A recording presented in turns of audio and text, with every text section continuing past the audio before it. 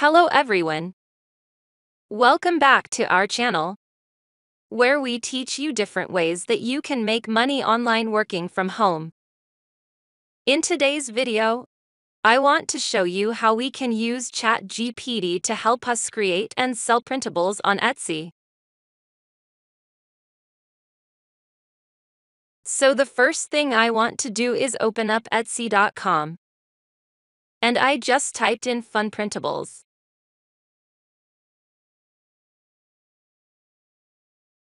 And you can see here, there are thousands of different printables that people are selling on Etsy. So I just typed in fun printables. And you can see there are over a 100,000 results. So of course we want to narrow it down a bit. Now, I'm going to put in Easter printables for kids games.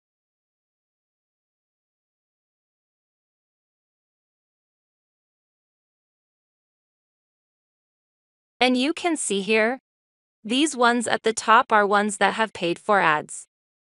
But if you scroll down, here are a bunch of different activities. And you can see that the most popular ones are bundles. So if we look at this one here, this is a bestseller. And this one is super simple. It's an outdoor Easter treasure hunt. And these printables are extremely easy to create. And I'm going to show you an example of something that we can do. So if we look here, this person has an Easter Mad Libs activity. And it's very basic, but very beautiful. So if you don't know what Mad Libs is, it's basically a story, and you take out a few words. So for example, in this activity, the teacher would ask the students on a piece of paper to write down one emotion, a number of verb, an adjective. And later you read out this really funny crazy story that you've created. Mad Libs are very popular in schools as an activity for teachers. So she's selling just one page. Just one printable for 2 euro and 70 cents. And this is something we can create very easily with ChatGPT and Canva. Now, this woman has a very beautiful custom image. So you can see not only has she just put on the Mad Libs, she's decorated it for Easter. It looks very professional. Okay. So we're going to go over to ChatGPT. So I want to show you how we can create a printable like this. But before we get started, we can use ChatGPT for some ideas. I can say what are the most popular printables that are sold on Etsy.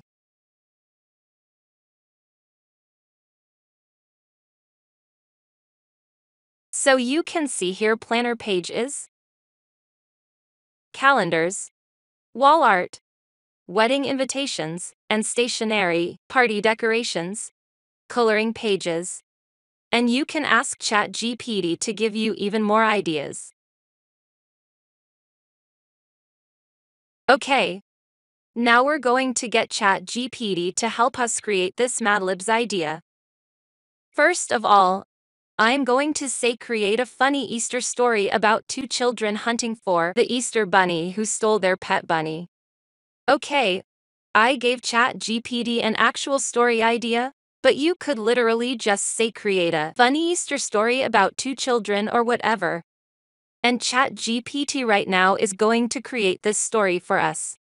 So ChatGPT has written the Easter story, but I wanted it to be a little shorter so we will fit on the page.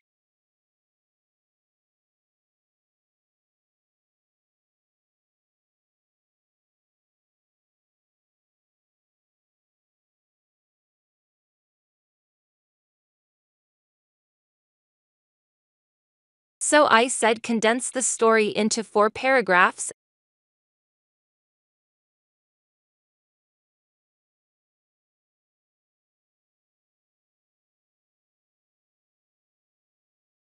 So now it's created our story. But now, I'm going to say create a Mad Libs activity with this story.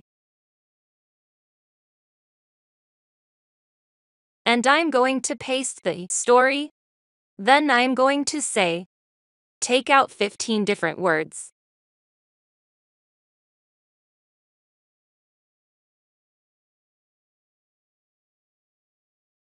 And you can see that ChatGPT has just put in a spot for the adjective for the verb for the adjective verb. So this is the full story, the original story.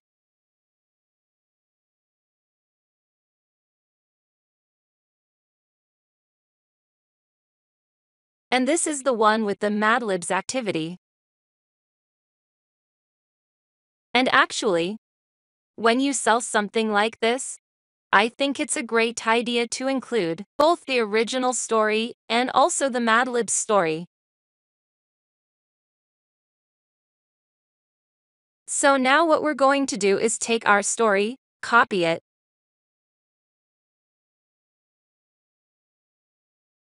we're going to go to Canva, and Canva is totally free, and we're going to click Create a Design and we're going to go custom size. And then here, change it to inches and put in 8.5 by 11 inches. And this is the standard paper size in North America. And then click Create New Design. So from here, you can go ahead and make it completely customize it by adding your own background color or whatever. But an easier way to do it is to go here to Templates type in Easter, enter. And they are going to find us a bunch of templates that are Easter related that we can use that are this size. So let's scroll down find one that we like. Let's say this one here.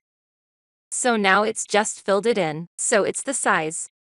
And we're going to slide on this up here to zoom up and we can erase any information we don't need. So I'm going to erase all the text. We don't need that.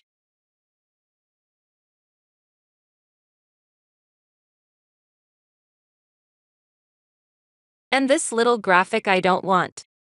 And we can make the title so we can put let's put the Easter Bunny. Mad Libs. And you can just adjust it like that we can adjust the size.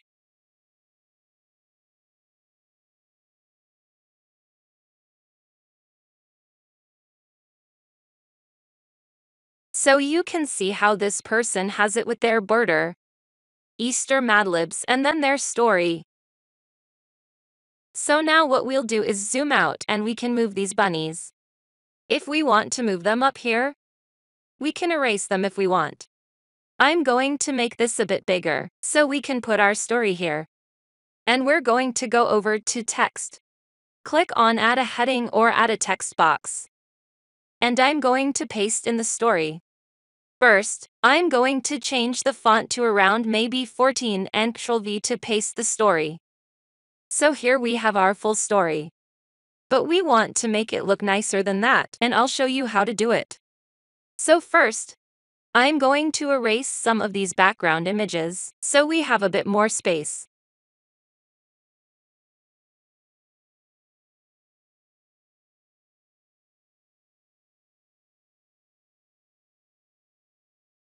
So now what we want to do is click here on spacing, and so we want to increase the space a bit.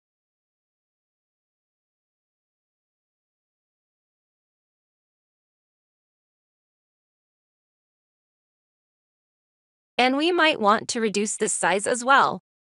And now what we want to do is replace all of these that say adjective verb with lines underneath, so the kids could write that. So we go like this, for example,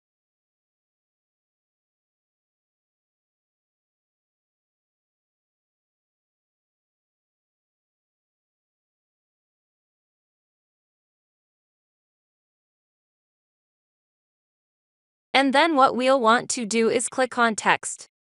And click on this little bit of body of text there. And we're going to put an adjective. And what we'll do is we'll make this really small, maybe 8 or 9. can even change the color to purple or something so it stands out. And this would just indicate that when the kids are playing this activity or whoever, they'd have to put an adjective here. So now we'll just go ahead and continue that for all of these.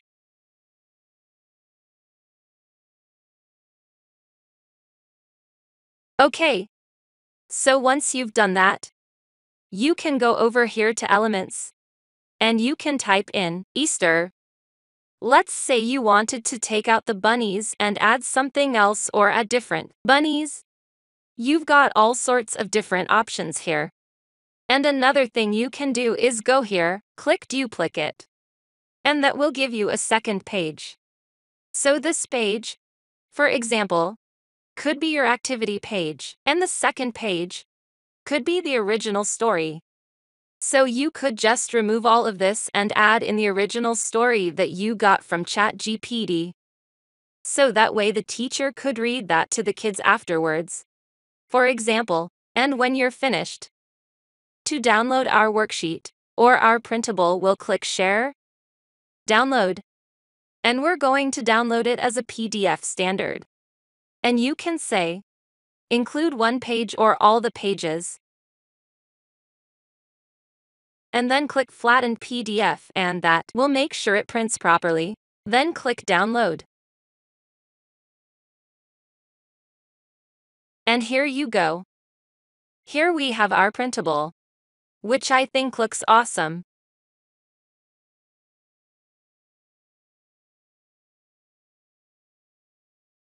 So from here you would go ahead create a digital listing on Etsy. So like this girl here. This is her digital listing. Easter Mad Libs printable. Easter game. Easter activity. You can see lots of different keywords. Here's her description. And what you can do is you can actually just go into ChatGPT. We can actually say, write a listing for a digital product on Etsy selling this fun Easter Bunny Mad Libs activity for students. The product includes two worksheets, one PDF file. This is so great, honestly. It's creating the entire ad for you even it even says this is a digital product, only no physical item will be shipped is telling you that it's an instant digital download. I mean, this is so awesome. So you could copy and paste this, change it up, and add that to Etsy as well. So I hope you guys enjoyed this tutorial and got a little bit inspired about the kinds of printables that you can get started creating with Canva and using ChatGPT. Make sure to subscribe to my channel for more videos like this one. And click like if you enjoyed this video. I'll see you in my next tutorial.